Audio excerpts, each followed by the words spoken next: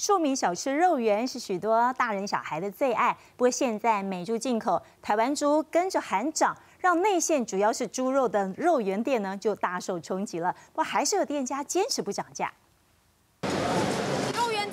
头翻滚油炸，把外皮炸到金黄酥脆，加上里头多汁的猪肉内馅，让人光看就口水直流。这家德国米其林餐盘的台中知名肉圆店，老板自豪自己用的可是台湾温体猪。不过现在碰到来猪开放进口，台湾猪跟着喊涨，店家的售价会不会也跟着调涨一波？基本上我都是自行吸收比较多，对对，我不会反馈在客人身上。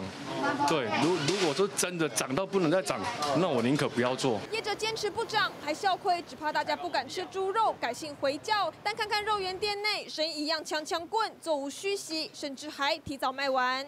超好的，里面还一锅都卖完了。政府对这一方面会把关，我们还是要有信心啊。两颗。